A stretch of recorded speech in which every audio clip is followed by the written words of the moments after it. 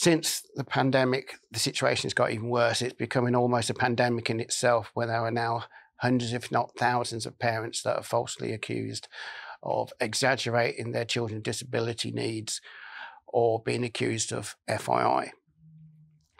There needs to be a coordinated campaign through disability charities and parent care groups of how parents and carers can best respond to false accusations of FII and parent carer blames.